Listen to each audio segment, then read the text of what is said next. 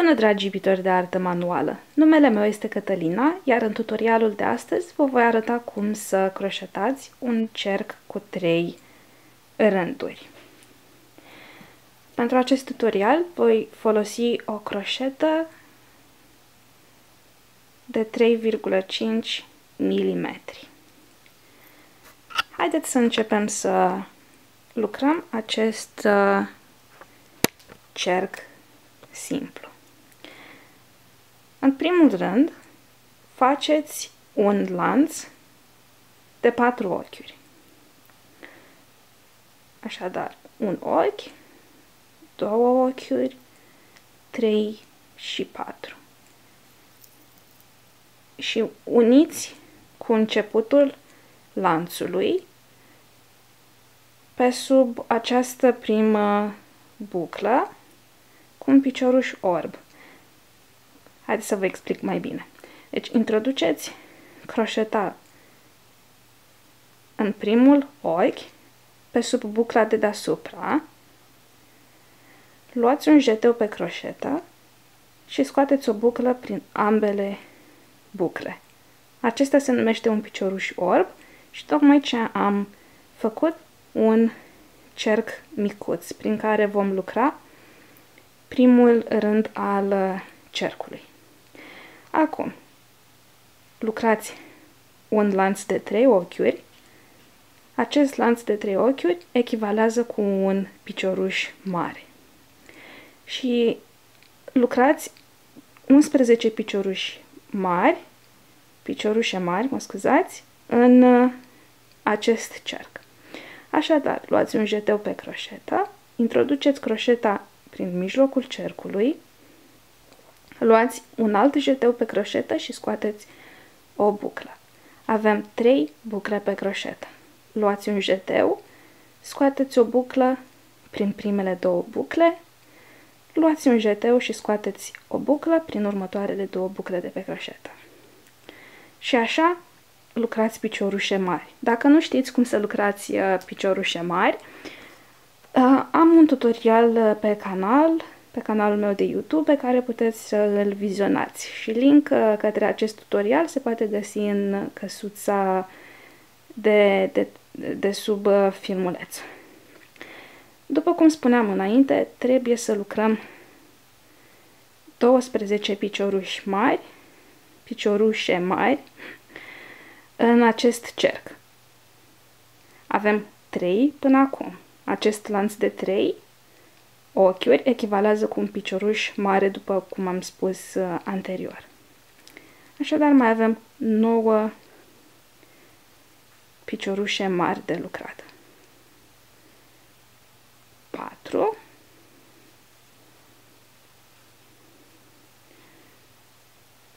5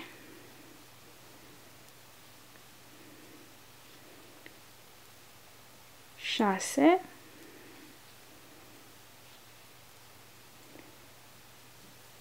7 8 9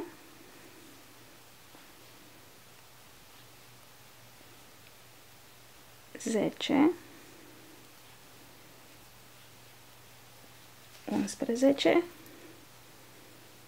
și 12 piciorușe mari. Dar ca să fim complet siguri, haideți să le numărăm. Așadar, una, un picioruș, 2, 3, 4, 5, 6, 7, 8, 9, 10, 11 și lanțul de început 12 piciorușe mari. Și cum finalizăm primul rând al acestui cerc? Să vă arăt mai de aproape.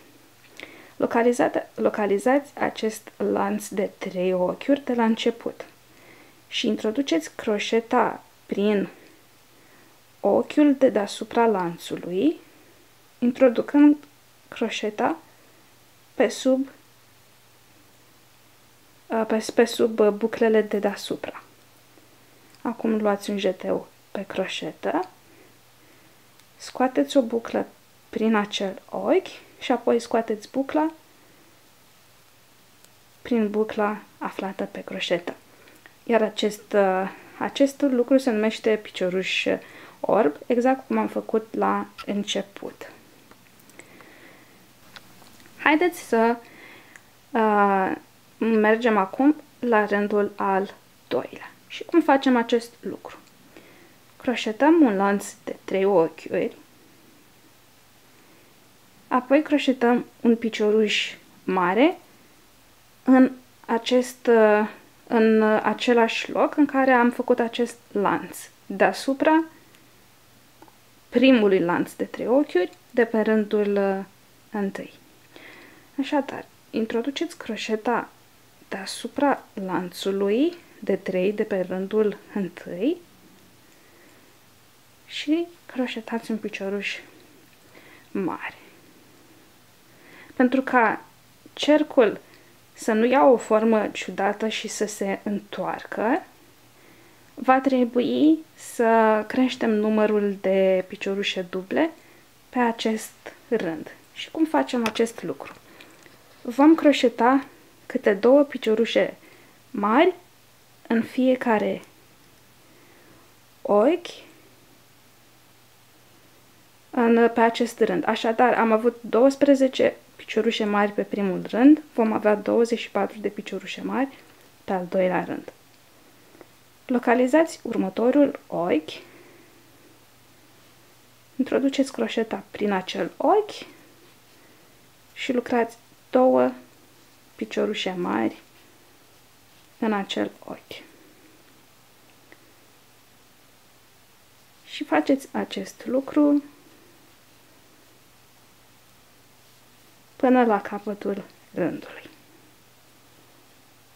Câte două piciorușe mari deasupra fiecărui picioruș mare de pe rândul anterior.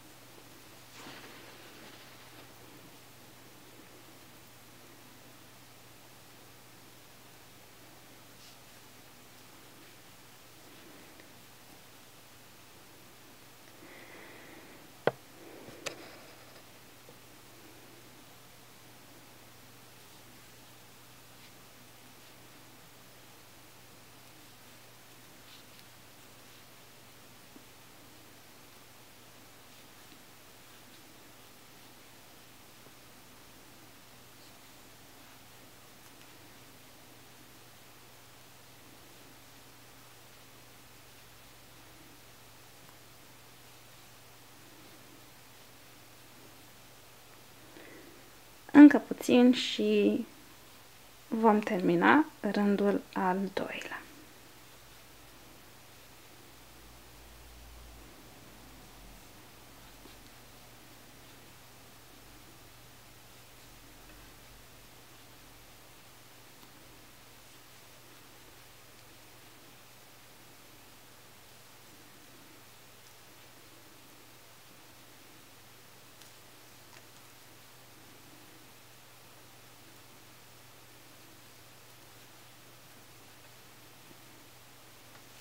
și, din nou, să fim complet siguri că avem 24 de piciorușe. Haideți să le numărăm.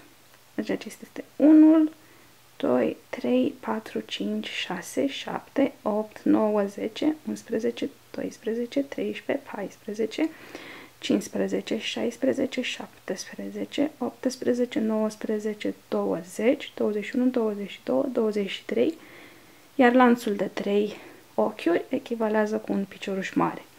Deci 24 de piciorușe în total.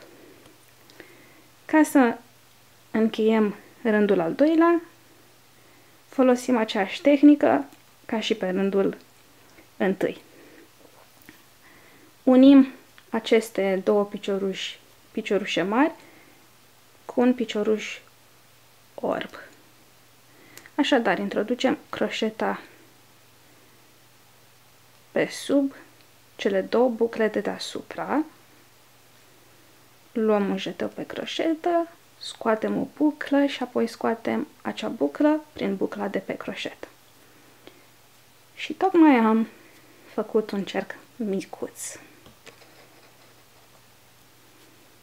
Dar haideți să mai lucrăm un ultim rând. Lucrăm din nou un lanț de trei ochiuri.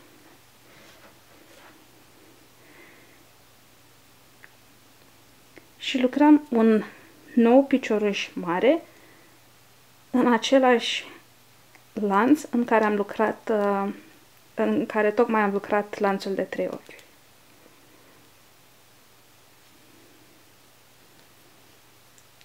Din nou, trebuie să creștem numărul de piciorușe mari pe acest rând. Dar nu vom mai lucra câte două picioruși, uh, piciorușe mari în fiecare ochi, ci vom lucra câte două piciorușe mari, apoi un picioruș mare, două piciorușe mari, un picioruș mare. Și din cauza aceasta vom avea 36 de piciorușe mari pe rândul al treilea. Așadar, după cum am spus, tocmai ce am lucrat două piciorușe mari în primul lanț de acolo. În următorul ochi vom lucra un singur picioruș mare.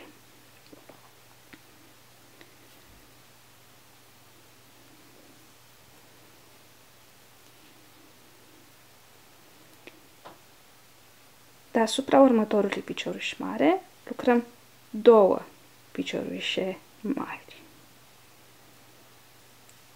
Un picioruș și al doilea picioruș. În următorul picioruș lucrăm un singur picioruș mare. Următorul picioruș lucrăm două piciorușe mari. Așadar, alternăm un picioruș mare, două picioruși, piciorușe mari.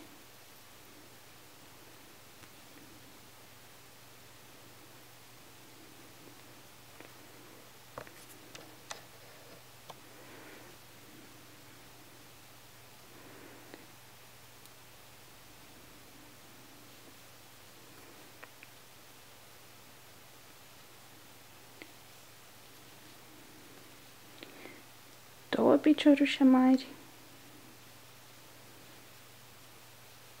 un picioruș mare,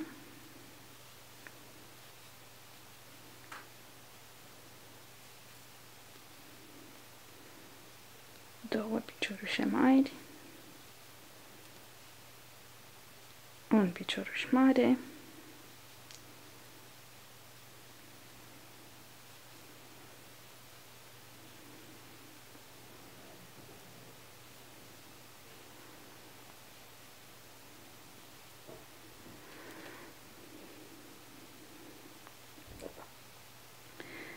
Doar ca să fiu sigură, mă voi uita acum să văd dacă am folosit numărul corect de pișorușe.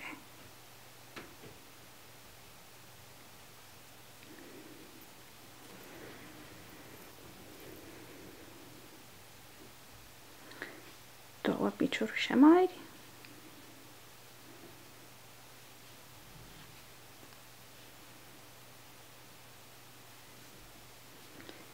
Un picioruș mare,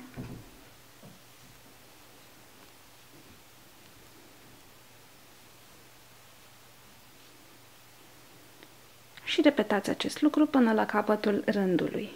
Mă voi întoarce la finalul rândului pentru a vă arăta din nou cum să încheiați rândul. După cum bine vedeți, am lucrat două piciorușe mari în penultimul ochi.